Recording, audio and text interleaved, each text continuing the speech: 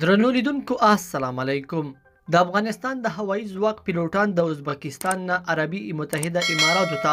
ولېږدول شول د افغانستان د پیلوټانو یو ډله چې څه باندې یو میاشت کېده ازبکستان په یو نظامی کمپ کې اوسېدل د یک شنبې په ورځ عربي متحده اماراتو ته روان شول یو افغان پیلوټ د نوم نه ښودلو په شرط رویټرز خبري اژانس ته ویلي چې د پیلوټانو د ایستلو بهیر د یک شنبې په ورځ پیل شو او ښایي چې څو ورځې به دوام وکړي سره لدی چې طالبانو ویلي وو د غچ اخیستو په خاطر په چا برید نه کوي خو دغه پیلوټانو افغانستان ته د بیرته تګ نه ډار درلود او ویلي چې طالبان یې وژني دغو افغان پیلوټانو د افغانستان نه د وتلو پر مهال د ځانونو سره شپږ څلوېښت الوتکې هم وړې وې او تر اوسه په ازبکستان کې ولاړې دي د اګست د میاشتې په پنځلسمه نیټه کابل ته د طالبانو د راتګ نه یوازې څو ساعته وروسته د افغانستان د نظامي پرسونل پنځه سوه پنځه اتیا غړي د خپلو کورنیو سره یوځای په دوه ویشت نظامي الوتکو او څلېرویشت هلیکاپټرو کې د کابل نړیوال هوایي ډګر نه ازبکستان ته ولاړل ویل کیږي چې د افغانستان نظامیانو اته هلیکاپټرې د پنشیر ولایت ته هم وړي وي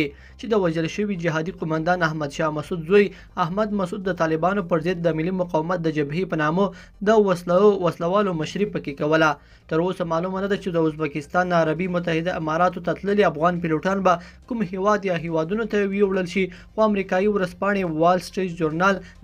د شنبې په ورځ ویلي وو چې ښايي د افغان پیلوټان لومړی قطر او د هغه ځای نه یو دریم هیواد ته ولیږدول شي یو شمیر امریکایي چارواکو ویلي چې طالبانو په ازبکستان فشار راوړی و چې دا الوتکې او پیلوټان هغوی ته وسپاري د ازبکستان لپاره دا یو پخوانی سفیر